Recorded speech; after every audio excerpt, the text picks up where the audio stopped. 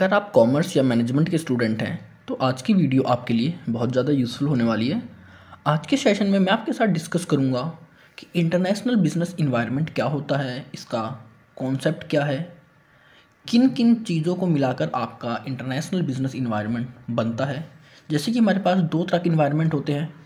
एक होता है माइक्रो इन्वायरमेंट दूसरा होता है आपका मैक्रो इन्वायरमेंट तो इन दोनों को जब कॉम्बिनेशन करते हैं तो वही कहलाता है आपका इंटरनेशनल बिज़नेस इन्वायरमेंट तो आज के सेशन में हम इस टॉपिक को मतलब इंटरनेशनल बिज़नेस इन्वायरमेंट को डिटेल में स्टडी करेंगे। तो स्टार्ट करते हैं अपना आज का सेशन तो अगर मैं बात करूँ इंटरनेशनल बिज़नेस इन्वायरमेंट ये बना कैसे है? तो एक तो इसमें चीज़ है कि आप इंटरनेशनल बिज़नेस की बात कर रहे हैं, और दूसरा जो वर्ड है वो आपका इन्वायरमेंट तो अगर मैं इंटरनेशनल बिज़नेस की बात करता हूँ तो यहाँ पर हम बात करते हैं कि जब हम गुड्स सर्विसेज़ या किसी भी रिसोर्सिस का ट्रेड करते हैं अपनी कंट्री के बियॉन्ड जाकर। मतलब मेरे को कोई बिज़नेस करना है, कोई ट्रेड करना है सर्विसेज़ को गुड्स को रिसोर्सिस को सेल परचेज करना है, लेकिन अपनी कंट्री से बाहर जाकर या दूसरी कंट्रीज़ के साथ ट्रेड करना उन चीज़ों का। तो वो मेरा क्या कहलाता है? इंटरनेशनल बिज़नेस मतलब कोई भी इकोनॉमिक एक्टिविटी जो मैं दूसरी कंट्रीज़ के इंडिविजुअल्स के साथ या वहाँ के बिज़नेस मैन के साथ करता हूँ तो वो कहलाता है मेरा इंटरनेशनल बिज़नेस यहाँ पर सिर्फ़ हमारी इकोनॉमिक एक्टिविटीज़ को ही इंक्लूड किया जाता है। इकोनॉमिक एक्टिविटीज़ में पहली आपकी गुड्स के एक्सचेंज हो जाते हैं, दूसरा सर्विसेज़ के एक्सचेंज और तीसरा आपके रिसोर्सेज तो ये तो हो गया आपका इंटरनेशनल बिज़नेस जब आप अपनी पॉलिटिकल बाउंड्री से बियॉन्ड जाकर ट्रेड करते हैं। और दूसरा वर्ड था इन्वायरमेंट तो अगर मैं इन्वायरमेंट की बात करूँ, जहाँ पर भी हम एग्जिस्ट करते हैं, जहाँ पर भी हम रह रहे हैं हमारे आसपास के जो भी लिविंग नॉन लिविंग क्रीचर्स हैं नेचुरल क्रीचर्स हैं, या कह सकते हैं हमारे कोई फ़िज़िकल सराउंडिंग्स हैं मतलब हमारे आसपास जो भी आपको दिखाई देता है, वो सब कुछ क्या कहलाता है? आपका इन्वायरमेंट का पार्ट कहलाता है। उसी तरह जब हम बिज़नेस की बात करते हैं तो बिज़नेस आप जब दूसरी कंट्री के साथ कर रहे हो तो जो चीज़ें आप आपको उस बिज़नेस को इफ़ेक्ट करेंगी, आपको एक हेल्थी इन्वायरमेंट प्रोवाइड करेंगी जो कहीं ना कहीं आपके बिज़नेस के ऊपर डायरेक्टली इनडायरेक्टली इफ़ेक्ट करें। तो ये कहलाएगा आपका इंटरनेशनल बिज़नेस इन्वायरमेंट तो अगर हम डेफिनेशन देखते हैं इंटरनेशनल बिज़नेस इन्वायरमेंट की so the international business environment refers to set of external factors both controllable and uncontrollable that influence the operation and decision making of business engaging in international trade and investment. तो आप ये कह सकते हैं कि international business environment को हम कह सकते हैं कि सेट ऑफ़ एक्सटर्नल फैक्टर्स होते हैं, जिसके अंदर कि आपके कंट्रोलेबल फैक्टर्स भी हैं और आपके अनकंट्रोलेबल फैक्टर्स भी होते हैं, जो कि आपके बिज़नेस के ऑपरेशंस को, आपके डिसीजंस को, आपके इंटरनेशनल ट्रेड को डायरेक्टली इफ़ेक्ट करते हैं। It encompasses a wide range of element that business must consider while operating in foreign market or dealing with cross border transactions जिसके अंदर बहुत सारे एलिमेंट्स होते हैं जिसको कि बिजनेसमैन को या किसी भी ऑर्गेनाइजेशन को, किसी फर्म को ध्यान रखना होता है अपने इंटरनेशनल बिज़नेस के अंदर एंटर होने के लिए। क्योंकि ऐसे एलिमेंट होते हैं, हमारी हर चीज़ को इफ़ेक्ट करेंगे।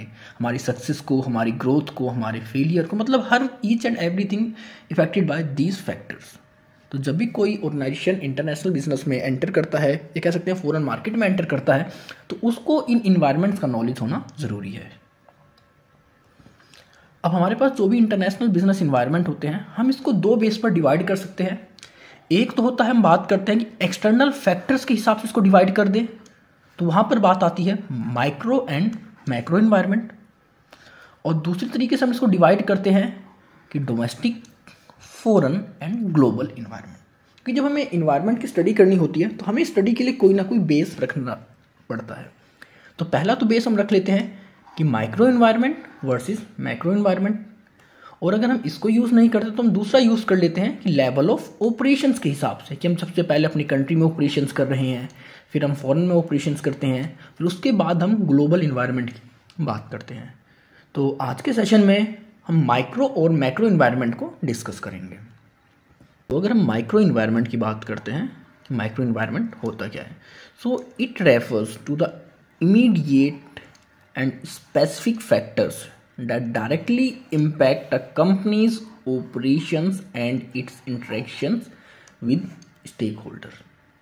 ये कह सकते हो, इसके अंदर वो फैक्टर आते हैं जो कि आपके बिज़नेस को डायरेक्टली और तुरंत इफ़ेक्ट करते हैं। But these factors are within the control और influence of the company itself ये हमारी कंपनी को डायरेक्टली इफ़ेक्ट ज़रूर करेंगे, लेकिन हमारी कंपनी इनको तुरंत कंट्रोल कर सकती है। तो वो होते हैं माइक्रो इन्वायरमेंट के फैक्टर्स आपके। माइक्रो फैक्ट या कह सकते हो माइक्रो इन्वायरमेंट के एलिमेंट्स आपके। मतलब वो इन्वायरमेंट या वो फैक्टर जो आपके बिज़नेस को डायरेक्टली इफ़ेक्ट कर रहे हैं, लेकिन कंपनी उनको तुरंत कंट्रोल कर सकती है। तो वो आपके कहलाते हैं माइक्रो इन्वायरमेंट अब इनके अंदर कौन कौन आता है वो देख लेते हैं। सबसे पहले आपके माइक्रो इन्वायरमेंट में आता है आपका कस्टमर क्योंकि आप देखो, चाहे आप सर्विस के लिए काम करते हो, चाहे आप गुड्स के लिए करते हो, कहीं ना कहीं आप इनको सेल्स कस्टमर को ही करोगे। So the need preference and behavior and purchasing power of customers are crucial consideration for business understanding customer segment and tailoring product services and marketing strategy according is essential. हमें पता है कि हमारे customer को क्या चाहिए, उसकी डिमांड क्या है, उसकी नीड क्या है। तो हम अपने प्रोडक्ट को उसकी नीड के हिसाब से, उसकी डिमांड के हिसाब से बनाएँगे मॉडिफाई करेंगे और उसके हिसाब से ही अपनी जो मार्केटिंग स्ट्रेटजीज होती हैं, उनको भी डेवलप करेंगे। अब नेक्स्ट आता है आपका सप्लायर सप्लायर मतलब अगर आप कोई सर्विस प्रिपेयर कर रहे हो, कोई गुड्स बना रहे हो मैन्युफैक्चरिंग कर रहे हो तो कहीं ना कहीं आपको एक रॉ मटेरियल की रिक्वायरमेंट होती है। So the availability reliability and cost effectiveness of suppliers play a significant role in the international business environment. अब अगर आपका जो सप्लायर है, वो आपको टाइम पर प्रोडक्ट प्रोवाइड कर देता है रॉ मटेरियल देता है, अच्छी क्वालिटी का और कम प्राइस पर दे रहा है। तो कहीं ना कहीं आपका जो एक ग्रोथ का चांस होता है सक्सेस का चांस होता है इंटरनेशनल बिज़नेस ऑपरेशन में वो इंक्रीज हो जाता है। और अगर वो आपको प्रोडक्ट टाइम पर नहीं दे रहा अच्छा प्रोडक्ट नहीं दे रहा और महँगी कॉस्ट पर दे रहा है तो वो आपके लिए बेनिफिशियल नहीं होगा। तो इस कंडीशन में भी आप इसको अगर देखते हो, अगर आपको अच्छा प्रोडक्ट मिल रहा है रॉ मटेरियल तब तो आप कंटिन्यू करोगे। लेकिन अगर वो आपके बिज़नेस पर नेगेटिव इफ़ेक्ट डाल रहा है तो वहाँ पर आप इंश्योर करोगे कि आप उसको चेंज कर कर ऐसे सप्लायर को सेलेक्ट करो जो कि आपको रिलायबिलिटी के हिसाब से आप कह सकते हैं कॉस्ट इफेक्टिवनेस आपको प्रोडक्ट प्रोवाइड करें। नेक्स्ट है competitors analysing and monitoring the activities strategies, strength and weakness of competitors is a vital to gain a competitive edge in the international market अब जब आप इंटरनेशनल मार्केट के अंदर enter करते हो तो वहाँ पर आपके कॉम्पिटिटर्स होने ज़रूरी है। तो आपको देखना होता है कि आपके कॉम्पिटिटर्स की क्या स्ट्रेटजी है, किस तरह अपने प्रोडक्ट्स की सेल करता है, क्या स्ट्रेंथ है उसके पास, क्या वीकनेस है, किस पॉइंट पर वो आपसे वीक है और किस पॉइंट पर आप उससे ज़्यादा स्ट्रांग हो। तो आपको इन सभी चीज़ों को एनालाइज करना होता है मॉनिटर करना होता है और उसके हिसाब से आप देखते हैं कि कौन से ऐसे फैक्टर्स हैं जिनका आप बेनिफिट उठा सकते हैं अपने कॉम्पिटिटर के हिसाब से। नेक्स्ट आपका distributor and intermediaries so these are the channels through the which product and services reach customers अब कंपनी ने अगर किसी प्रोडक्ट को बनाया तो डायरेक्टली कस्टमर को तो नहीं पहुंचाएगी। कहीं ना कहीं उसके बीच में एक चेन स्टैब्लिश हो जाती है, जैसे कि आपका मैन्युफैक्चरर इसके बाद आपका होलसेलर फिर आपका रिटेलर फिर कहीं आपका आता है लास्ट में कस्टमर तो ये चेन इस तरह चलती रहती है। अब अगर आपकी जो चेन है, आपके जो डिस्ट्रीब्यूटर हैं, आपके इंटरमीडियरीज हैं, वो इफ़ेक्टिव नहीं है एफिशिएंट नहीं है आपके प्रोडक्ट को कस्टमर को ऑन टाइम पहुँचाने में तो वो आपके लिए एक नेगेटिव इन्वायरमेंट क्रिएट करेगा। तो वहाँ पर आप इनको भी चेंज कर सकते हैं, इनको कह सकते हैं इफ़ेक्टिव बना सकते हैं, और इनका खुद ऐसे सिलेक्शन करो कि जो कि आपके हिसाब से बेटर हो। तो ये होता है आपका ये डिस्ट्रीब्यूटर्स और इंटरमीडियरीज नेक्स्ट आपका शेयर होल्डर्स एंड इन्वेस्टर्स अब कोई बिज़नेस है, कोई भी फर्म है, उसको पैसे चाहिए होते हैं अपनी नीड को पूरा करने के लिए. तो पैसे आते कहाँ से हैं? या तो शेयर होल्डर्स के थ्रू पैसे को अरेंज किया जाता है फंड्स का अरेंजमेंट होता है, या फिर हमारे जो इन्वेस्टर्स होते हैं, उनसे उन चीज़ों को अरेंज किया जाता है. Meeting the expectation of shareholders and investors maintaining financial stability and ensuring transparency and good governance are crucial in international business अब अगर कोई चाहता है कि उसके पास हरदम कैश अवेलेबल रहे, उसको जो फाइनेंशियल स्टेबिलिटी है, उसकी स्ट्रांग रहे तो उसे अपने काम को, अपने जो भी वर्क है फाइनेंशियल का, उसको ट्रांसपेरेंट रखना होगा, एक अच्छी गवर्नेंस का यूज़ करना होगा, जिसके थ्रू कि सारे शेयर होल्डर्स और इन्वेस्टर्स सेटिस्फाई रहें, उनकी एक्सपेक्टेशन से काम करेगा वो। क्योंकि अगर हमारे शेयर होल्डर्स खुश हैं, हमारे इन्वेस्टर्स खुश हैं तो कहीं ना कहीं हमारे पास हरदम जो फाइनेंशियल स्टेबिलिटी होती है, वो हरदम मेंटेन रहेगी। नेक्स्ट है आपका एम्प्लॉयज़ अब कोई भी फॉर्म है, चाहे आप सर्विस इंडस्ट्री की बात कर लो, चाहे आप गुड्स इंडस्ट्री की बात कर लो मैन्युफैक्चरिंग की बात कर लो, वहाँ पर आपके फाइनल प्रोडक्ट को तैयार करने के लिए हमें एम्प्लॉयज़ की नीड होती है। अब एम्प्लॉयज़ कैसे होंगे? हम देखेंगे कि हमारे एम्प्लॉयज़ के पास स्किल्स हैं या नहीं है। हमारे पास कितना वर्क फोर्स अवेलेबल है? हमारे एम्प्लॉयज़ सेटिस्फाई हैं भी हमारे काम से या नहीं है? फिर देखेंगे कि हमारे पास कितने रूल्स रेगुलेशंस होते हैं एम्प्लॉयज़ के रिगार्डिंग हमारे पास लेबर्स के रिगार्डिंग उन सभी का ध्यान रखा जाएगा। तो अगर हमारा ह्यूमन रिसोर्स हमसे सेटिस्फाई है तो हम एक ऑपरेशन को सक्सेसफुली कर पाएँगे डील कर पाएँगे, अपने बिज़नेस को एक्सपेंड कर पाएँगे। बट अगर हमारे एम्प्लॉयज़ ही हमसे खुश नहीं है सेटिस्फाई नहीं है तो कहीं ना कहीं इसका नेगेटिव इफ़ेक्ट हमारे बिज़नेस पर देखने को मिलता है। तो ये भी देखना होता है कि हम ऐसी एक्टिविटीज़ करें, सारे ऐसे डिसीजंस लें जो कि हमारे एम्प्लॉयज़ को सेटिस्फेक्शन लेवल को इंक्रीज़ करें और जिसके थ्रू कि हम उनको फुल स्किल प्रोवाइड कर सकें, उनके जो भी रूल्स रेगुलेशंस होते हैं, उनको फॉलो करें और उन्हें एक अच्छी खासी सैलरी प्रोवाइड करें जिसके थ्रू कि वो अपना हंड्रेड परसेंट हमारे ऑर्गेनाइजेशन को दे सकें। अब इसके बाद देखते हैं हम कि मैक्रो इन्वायरमेंट क्योंकि अभी तक हमने बात करी माइक्रो इन्वायरमेंट जिनको कि हमारी फर्म डायरेक्टली कंट्रोल कर सकती है और उनका हमारे फर्म पर डायरेक्टली इफ़ेक्ट भी देखने को मिलता है। बट ये उससे थोड़ी सा अलग है। So it refers to the broader external factors that are beyond the direct control of a company, but have a significant impact on its operations. तो इसका हमारी कंपनी के ऑपरेशन पर इम्पैक्ट तो देखने को मिलता है डायरेक्टली लेकिन इन फैक्टर्स को हमारी कंपनी हमारी ऑर्गेनाइजेशन कंट्रोल नहीं कर सकती जिसके अंदर कौन कौन से फैक्टर्स होते हैं, उनको देखते हैं। तो सबसे पहला है आपका इकोनॉमिक फैक्टर अब इकोनॉमिक में क्या आ जाएगा? Economic condition such as GDP growth domestic product like आपका इन्फ्लेशन महँगाई इंटरेस्ट रेट्स जो आपको बैंक प्रोवाइड करते हैं, आपके एक्सचेंज रेट जब आप दूसरी कंट्रीज़ के साथ ट्रेड करते हो तो आपकी करेंसीज को आपको एक्सचेंज करना होता है। उस कंट्री की फ़िज़िकल पॉलिसीज़ आपका impact international business decisions market opportunities and financial performance ये सारी वो चीज़ हैं जो कि इकोनॉमिक कंडीशंस के अंदर इंक्लूड करी जाती हैं और इनको आप कभी भी डायरेक्टली कंट्रोल नहीं कर सकते। अब मैं बात करूँ कि अगर आपको, मैं कह दूँ कि आपको इन्फ्लेशन को कंट्रोल करना है इंटरेस्ट रेट को कंट्रोल करना है एक्सचेंज रेट को कंट्रोल करना है तो इनको कोई ऑर्गेनाइजेशन कोई फर्म कंट्रोल नहीं करती। ऑटोमेटिक इंटरनेशनल बिज़नेस के अंदर इंटरनेशनल जो हमारी मार्केट है, वहाँ पर डिमांड और सप्लाई के हिसाब से इनका फ्लक्चुएशन चलता रहता है और वही इन चीज़ों को डिसाइड करते हैं। या फिर अगर कोई करेगा भी इनको कंट्रोल तो वो उस कंट्रीज़ की गवर्नमेंट कोशिश करेगी कि किस तरह उनको कंट्रोल करना है। बट किसी भी बिज़नेस के लिए इन चीज़ों को कंट्रोल कर पाना इम्पॉसिबल है।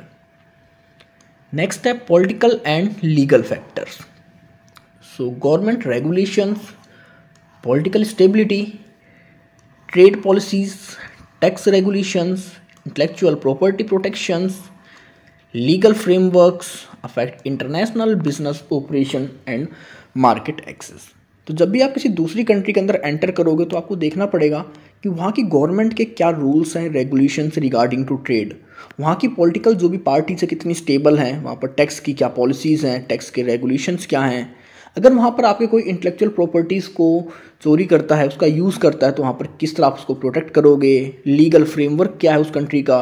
किस तरह वहाँ का जुडिक्शन काम करता है? तो ये सारी चीज़ें आपके बिज़नेस को इफ़ेक्ट करेंगी, लेकिन इनको भी आप डायरेक्टली कंट्रोल नहीं कर सकते। लेकिन ये कहीं ना कहीं आपके बिज़नेस को डायरेक्टली इफ़ेक्ट करती हैं। एग्ज़ाम्पल में आप टैक्स लगा लो। अब इंडिया में अगर किसी आपका इनकम के ऊपर थर्टी परसेंट टैक्स है, और जैसे आप दूसरी कंट्री में एंटर करते हो, वहाँ पर फिफ्टी परसेंट टैक्स है। तो कहीं ना कहीं आपका जो प्रॉफिट है वो डायरेक्टली इंक्रीज डिक्रीज हो जाएगा। क्योंकि अब आपको तीस परसेंट कंपेरिजन पचास परसेंट टैक्स पे करना पड़ेगा। तो ये फैक्टर्स होते हैं आपके पॉलिटिकल एंड लीगल फैक्टर्स अब नेक्स्ट है आपका सोशो कल्चरल फैक्टर अब इसके अंदर आते हैं आपके cultural norms social values customer behaviour demographics and lifestyle trend differ across country and influence market demand, marketing strategies and product localization. अब इंडिया के अंदर आपके कल्चर अलग हैं, आपकी सोशल वैल्यू अलग है, यहाँ पर कस्टमर्स का बिहेवियर भी अलग है डेमोग्राफिक्स भी अलग है। लेकिन जैसे ही आप दूसरी कंट्री के अंदर एंटर करोगे, वहाँ के लोगों की चॉइस वहाँ का टेस्ट वहाँ का कल्चर वहाँ का नॉर्म्स वहाँ की मार्केट सब कुछ अलग मिलेगा आपको। और आप अपने हिसाब से वहाँ की मार्केट को, वहाँ के ह्यूमन रिसोर्स को, वहाँ के कस्टमर्स को चेंज नहीं कर सकते। तो आपको वहाँ पर देखना पड़ेगा कि आप किस तरह अपने आप को ही चेंज करो। क्योंकि वहाँ के ये जो भी आपके सोशल कल्चरल फैक्टर्स होते हैं, ये आपके बिज़नेस को डायरेक्टली इफ़ेक्ट करते हैं। तो वहाँ पर आप उन फैक्टर्स को चेंज नहीं कर सकते। लेकिन आप कोशिश करोगे इनडायरेक्टली आप खुद को ही चेंज कर कर वहाँ के हिसाब से एडजस्ट हो सको। नेक्स्ट है technological factors so technological advancement digitalization communication system transportation infrastructure innovation and impact international business operations अब जब आप किसी दूसरी कंट्री के अंदर जाओगे तो वहाँ पर आप देखोगे कि आपके पास कम्युनिकेशन का सिस्टम क्या है। हो सकता है इंडिया के अंदर आपके पास ऐसे कम्युनिकेशन सिस्टम हो जो काफ़ी इफ़ेक्टिव है, लेकिन ज़रूरी नहीं कि वो सिस्टम आपको दूसरी कंट्रीज़ में भी अवेलेबल हो। वहाँ का ट्रांसपोर्ट इंफ्रास्ट्रक्चर किस तरह का है? वहाँ का इनोवेशन किस तरह के हैं वहाँ पर? वहाँ पर डिजिटलाइजेशन कितने लेवल पे है? वहाँ पर पेपर पे काम होता है या आपका इलेक्ट्रॉनिक मीडिया में काम होता है? तो मतलब ये सारे ऐसे फैक्टर्स हैं जो कि आपके बिज़नेस ऑपरेशंस को इफ़ेक्ट करेंगे जब आप किसी दूसरी मार्केट के अंदर एंटर करोगे। तो यहाँ पर भी आप इनको चेंज नहीं कर सकते क्योंकि आप दूसरी कंट्री में ट्रेड कर रहे हो तो वहाँ पर आपको खुद को ही चेंज करना होता है कंडीशन और सिचुएशन के हिसाब से। नेक्स्ट है इन्वायरमेंट फैक्टर्स तो environment concerns sustainability practices, climate change policies, and regulations influence international business practices. अब हर कंट्री क्या कर रही है कि वो कोशिश कर रही है कि हम किस तरह रूल्स रेगुलेशंस पॉलिसीज़ को बनाएँ जो कि हमारे क्लाइमेट को नेगेटिव इफ़ेक्ट ना दे। हमारी जो सस्टेनेबिलिटी है वो बनी रहे। हमारा जो इन्वायरमेंट है वो क्लीन रहे। एक ऐसा इन्वायरमेंट क्रिएट कर सके जो कि हमारी लाइफ के लिए हेल्थी इन्वायरमेंट क्रिएट कर सके। अगर कोई इंडस्ट्री लगा रहा है तो पोल्यूशन क्रिएट ना हो। अगर फिर भी कोई पोल्यूशन क्रिएट हो रहा है तो किस तरह उसको रिड्यूस किया जा सके? और अगर कोई पोल्यूशन क्रिएट कर रहा है, कोई इंडस्ट्री लगा भी रहा है तो उसके वहाँ पर एक सीएसआर का कॉन्सेप्ट होता है कि सोशल कॉरपोरेट रिस्पॉन्सिबिलिटी तो मतलब बहुत सारी ऐसी चीज़ें हैं जिनको कि हम चेंज नहीं कर सकते, इनको हमें अडॉप्ट करना होता है दूसरी कंट्री के हिसाब से। और लास्ट आपका ग्लोबल जियोपोलिटिकल फैक्टर्स तो यहाँ पर आपके जो वर्ल्ड लेवल पर जो भी हमारे कह सकते हैं ऑर्गेनाइजेशन हैं, उनको इंक्लूड किया जाता है, जो कि आपको ट्रेड को सपोर्ट करते हैं। तो लाइक जैसे आपका ग्लोबल इवेंट्स कोई हो रहा है जियो पोलिटिकल हो रही हैं ट्रेड एग्रीमेंट्स हैं आपके या इंटरनेशनल रिलेशंस हैं, वो सारे आपके इफ़ेक्ट करते हैं आपके बिज़नेस ऑपरेशंस को यहाँ पर। जैसे आपका अब डब्ल्यू है। अगर डब्ल्यू ने आप उसके सिग्नेटरी हो और उसने कोई रूल बना दिया तो आपको फॉलो करना पड़ेगा उसको। ये नहीं कि आपसे मना नहीं कर सकते। अब हो सकता है किसी दो कंट्रीज़ के बीच में आपस में कोई वॉर चल रही हो तो उस कंडीशन में भी आप उसके साथ, उसकी वॉर को ख़त्म नहीं कर सकते तो कहीं ना कहीं वो आपके बिज़नेस को डायरेक्टली इफ़ेक्ट करेगा। इसके अंदर वो सारे फैक्टर्स इंक्लूड किए जाते हैं। सो आई होप आपको सारे पॉइंट्स क्लियर हो गए होंगे कि बिज़नेस इन्वायरमेंट होता क्या है। तो अगर मैं शॉर्ट में बताऊँ, जो भी फैक्टर्स आपके इंटरनेशनल बिज़नेस को इफ़ेक्ट करते हैं, वो कहलाते हैं आपके इंटरनेशनल बिज़नेस इन्वायरमेंट इसके अंदर आपके दो तरीके के फैक्टर्स होते हैं। एक होता है माइक्रो लेवल इन्वायरमेंट दूसरा होता है मैक्रो लेवल माइक्रो में वो फैक्टर्स होते हैं जो आपके बिज़नेस को इफ़ेक्ट भी करते हैं, लेकिन उनको आप कंट्रोल कर सकते हैं। लेकिन अगर मैं मैक्रो की बात करता हूँ तो मैक्रो में वो हमारे बिज़नेस को तो इफ़ेक्ट करेंगे बट उनको हम कंट्रोल नहीं कर सकते। आई होप आपको अब सारे पॉइंट्स क्लियर हो गए होंगे। अगर आप कोई इशू है, कोई डाउट है तो आप कमेंट सेक्शन में कमेंट कर मुझसे पूछ सकते हैं और अब आप मुझे मेरे इंस्टाग्राम और टेलीग्राम पर भी फॉलो कर सकते हैं। तो मिलते हैं जल्दी ही ऐसी और वीडियोस के साथ। So stay tune stay connected with Score Max